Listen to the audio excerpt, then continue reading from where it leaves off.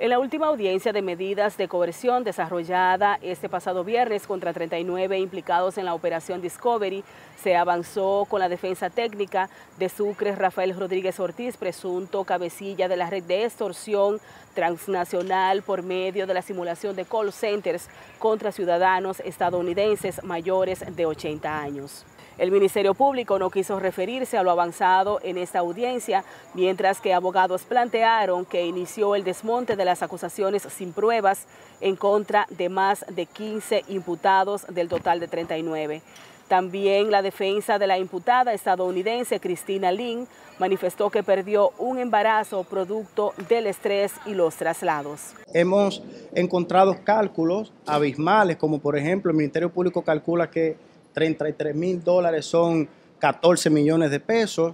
Hemos encontrado documentos en donde la Fiscalía dice que instituciones como el IDECOP hace eh, declaraciones, pero cuando las revisamos son totalmente contradictorias. Porque desde hoy inicia el desmonte de la estructura basada en mentira que el Ministerio Público ha inventado y ha redactado en una acusación.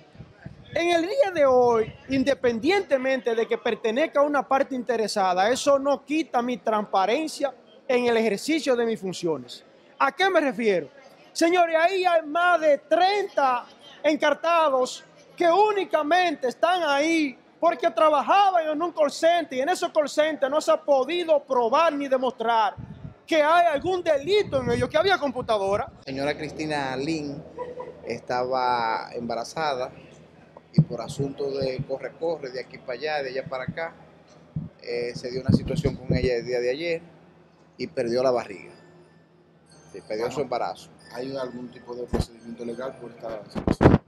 No, son cosas eh, que el Ministerio Público en realidad no quiere que sucedan y nosotros como abogados tampoco.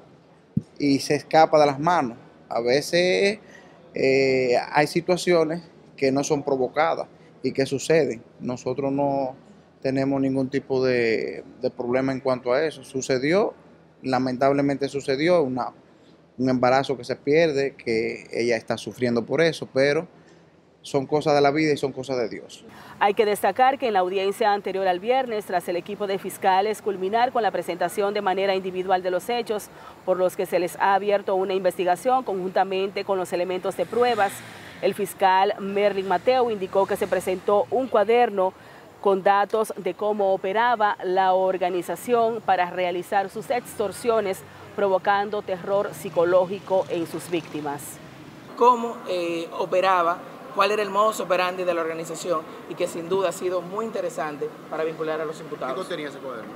El cuaderno contenía, por ejemplo, qué tipo de acciones iban a utilizar. Por ejemplo, llora, dile a la víctima que se te murió tu nieto, que tuvo un accidente. En este momento respira, posteriormente entonces haz otro drama y así de manera eh, dramática, ¿no? Querían eh, hacer asustar. Aplicar la psicología del terror. Pero este cuaderno entonces ha sido útil para vincularlos a ellos en realidad a lo que hacían, que no era ningún call center legal, sino era una forma de volver loco, matar a la víctima dejándola viva.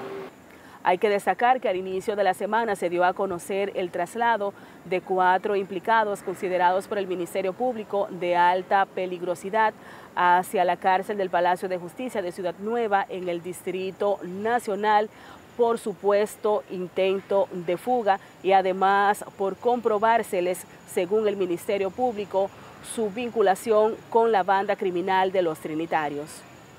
Los imputados son Sucre Rafael Rodríguez Ortiz, alias Tarimán, presunto cabecilla de la red, Pablo Miguel Balbuena, La Válvula, Víctor Manuel Hernández y Ángel Rafael Peralta Guzmán, los cuales solo serán trasladados a Santiago para las audiencias de coerción.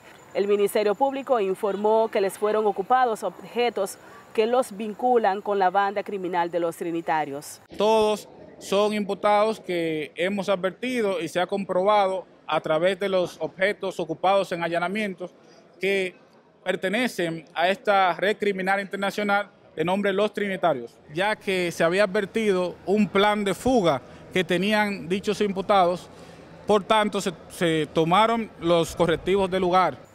En torno a esta presunta fuga por la cual fueron trasladados estos cuatro imputados, abogados establecieron que todo se trata de un show para mantener entretenida a la prensa y la población. Para confundir a la prensa y al país. No hay ni se dio ningún tal intento de fuga. Lo desmiento categóricamente. Y si no es así, entonces, que muestren las cámaras que hay en la carcelita. En la carcelita está rodeada de cámaras inteligentes. ¿Por qué no sale a la luz pública esos videos que hay en esas cámaras? Para que ustedes vean cómo salen macos y cacatas de esa carcelita. No hay un elemento de prueba en donde supuestamente se le haya encontrado algo con lo cual se pudiera presumir de que estuvieran realizando el supuesto intento de fuga que nosotros calificamos como otro show mediático más a lo que el Ministerio Público se está acostumbrando y que nosotros como ciudadanos y como abogados no debemos permitir este tipo de show mediático porque se supone que es un representante de uno de los poderes del Estado y no puede actuar con el poder que tiene y adicional show mediático. Se recuerda que el Ministerio Público solicita 18 meses de prisión preventiva y declaratoria de caso complejo.